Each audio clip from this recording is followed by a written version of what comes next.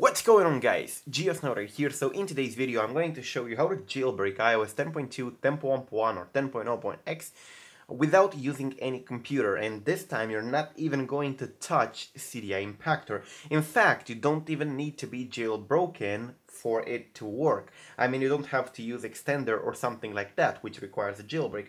As you can see, I do not have Yalu, and the reason I don't have it is because it expired after 7 days, so I decided to remove it completely. And there is a website created by this guy in here, uh, Yassine uh, A Y ouch. I can't really pronounce that thing. But anyways he's a good beginner developer and he made this website in here. I discussed with him. He assured me of the fact that this is legit and it's not creating any problems and it really installs Yalu in fact i have checked that.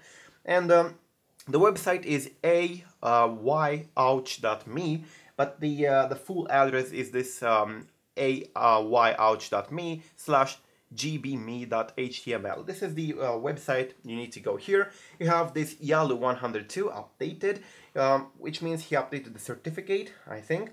And then you have the install button. You click install, you simply go ahead in here. You can see that I'm not jailbroken. In fact, I'm going to show you before installing. You can see Cydia doesn't start, Miriam doesn't start, I'm not jailbroken. And uh, let me try another tweak, for example, terminal, it doesn't start and uh, therefore I'm not jailbroken. And I'm going to install this without even being jailbroken and without even touching the computer. It installs the jailbreak, click install, get out of here. You can now close Safari if you want. And as you can see, Yalu starts to install itself. It says waiting, then it goes around here. Now you should keep in mind as uh, the developer has also stated on his Twitter, the certificate can be revoked by Apple should uh, they detect this and so on. So use it while you still can. Uh, you can see it says installing, there you go, it installed finally, but you need to confirm the developer account. So you can see it says untrusted. To fix that, you go to settings, wait for a couple years to load, go to general and then scroll until you find the profiles and device management. You go ahead in here and you're going to have enterprise app and you go to Shanghai, uh, demo, digital, whatever. You click trust in here, trust again. There you go.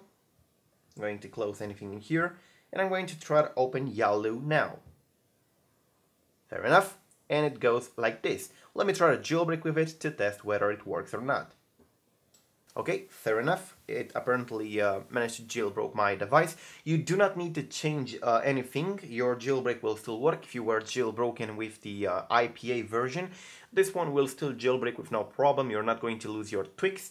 As you can see, all my tweaks and my things are installed. I can open my um, jailbreak related applications. For example, Miriam, the application that I made.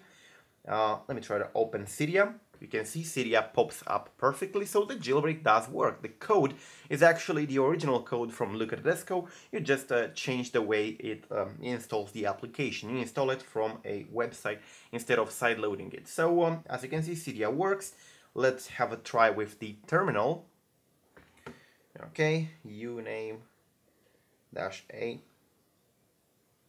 Yep, uname dash a. Fair enough. Okay, works perfectly. So this is the uh, official Yalu. I'm going to talk with him. Maybe he can uh, he can add Yalu Dark for those of you who are using it. But for the moment, you can install the official Yalu and jailbreak your device if you're I don't know on a road trip or you're not home. You don't have a computer with you. You're not jailbroken anymore. Your device rebooted and I don't know it ran out of power, rebooted, and now you need to jailbreak and you don't have the Yalu app anymore. So yeah, fair enough, you can do it. Um, I'm pretty glad this exists. Go ahead and use it. It's in the description down below. Subscribe to stay updated. Check out um, the developer's Twitter in the description down below as well. Tell me in the comment section down below if you have iOS 10.2